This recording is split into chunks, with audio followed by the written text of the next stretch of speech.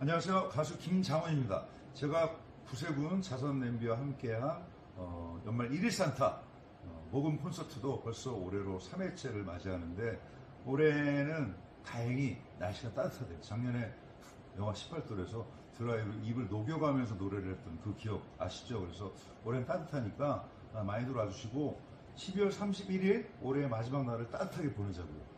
낮 2시부터 8시까지 명동역 6번 출구 앞에서 저는 여러분을 기다리고 있겠습니다. 그리고 특히 올해는 많은 동료 가수들, 우리들의 블루스의 정은혜 작가가 와서 그림도 그려드리고 가수 김종서 씨, 여행 스케치, 그리고 세계적인 팝페라 가수 정세훈 씨 등 많은 동료 가수들이 함께 하니까 어, 아이들과 함께 와서 따뜻한 체험하고 연말을 허전하지 않게 따뜻하게 보내고 2023년으로 넘어가면 그것이 바로 영혼의 보험이다. 여러분 연말 사랑합시다.